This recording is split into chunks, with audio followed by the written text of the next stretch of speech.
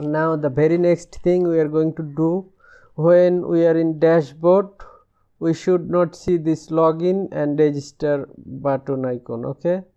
And when we are in register page we should not see this register and logout page logout button okay? So let's do that functionalities.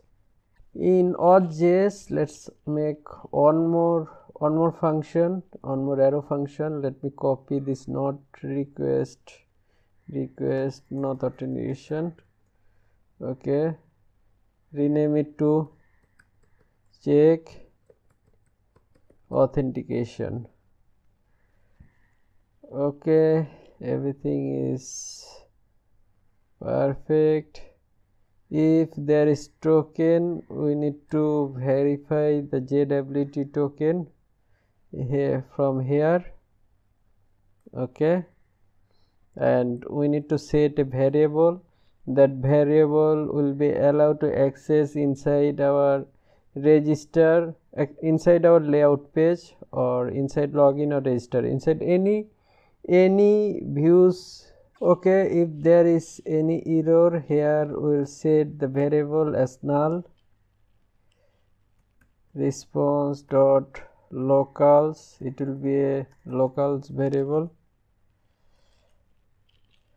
response dot locals dot user this is the name of our variable and this will be null if if there is anything went wrong. And it will pass the user. Copy this and paste it here. Save it. And if if there is no token then it will also be null. So let me copy this and paste it here as well. And here find user from database. That means there is a token. We need to find the user from database. So let's do it. User what was the name of our model? It was user with uppercase user dot find by id we are going to find by id and the id will be decoded. User dot id comma. It will take a callback function. At first it will show an error. And next docs. That mean our user okay docs mean our user. If there is any error it will do next error. Otherwise it will save the local variable as our user. The user from database. And the variable name is user and this docs mean the user we are getting from database here we need to pass the next. Control x and paste it here as well. Control shift i for rearranging your code. Let me export this out from here. Comma control v. We are going to use this check authentication for every get request. That means whenever someone render a file using a get request then this variable will be allowed okay? So in app.js actually let me copy this line where we have included request authentication paste it here as well. There will be check authentication. Check what was the name? Actually it should be check. Check authentication copy the name so it will not be any spelling mistake. And paste it here. Okay. Uh, in app use let me copy this and paste it above. And here will be star sign. The star sign mean all the get request are allowed to check authentication. Check authentication and this would be a get request. Get okay? Okay from auth js let me copy this if else statement copy this and paste it above this render in our dashboard route. Uh, in instead of nexting we need to render from here. By default if there is no token then by default the variable const user will be unknown. We don't need to give any double double value or variable here if there is no token okay verifying token. In instead of next let me render from here as well. Actually we don't need to render from here. We need to render from here. Okay? That means nothing went wrong from here. And let me change the variable name. Control c and control v for paste. Control v and the username will come from our database docs.name open your console.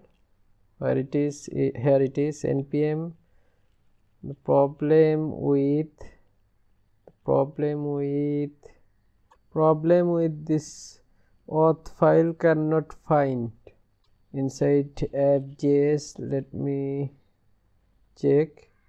This should be one dot. True we haven't declared any token so let me copy this jwt token from here and paste it inside our dashboard. Paste it here. Control s once again reload the page.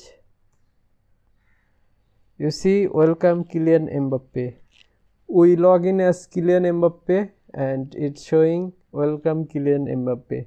And there is something still not done that is we still not set our menu so let's do that.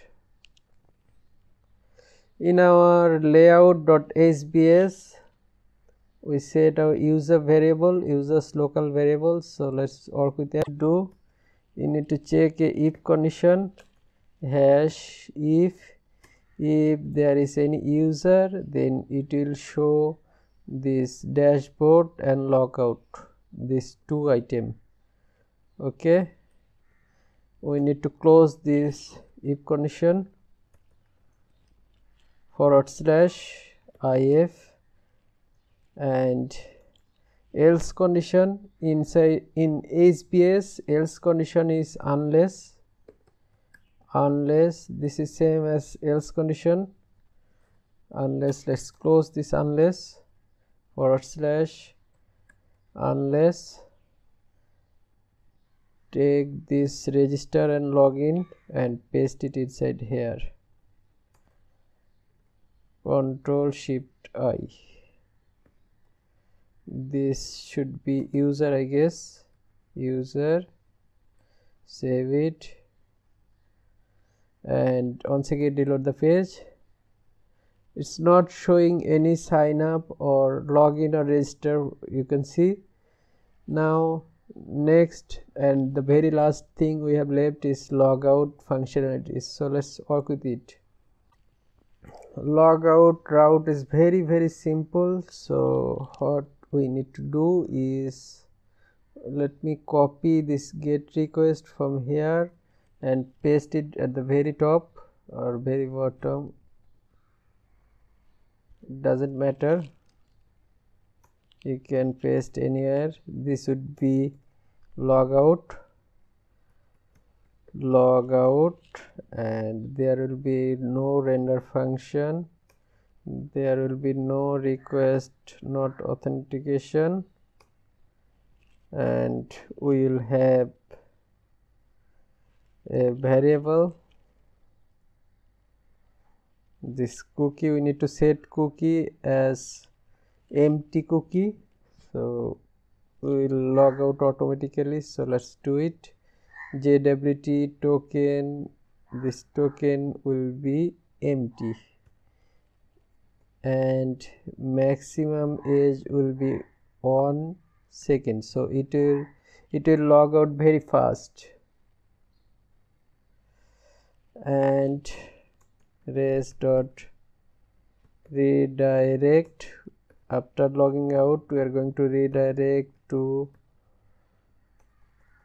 to the home page actually. So once again open layout.hbs just make sure this href is directing to logout okay logout route save it once again open your open your browser. Once again log in with Mbappe and password was Mbappe 1234 submit. Now we are login just click on this sign out. It's showing something went wrong. Here is the mistake we have made. That is this should be users not user okay. Once again go backward reload the page and click on logout. It's log out successfully. Now you can see register and login page. This time you can't see dashboard and log logout page. Okay?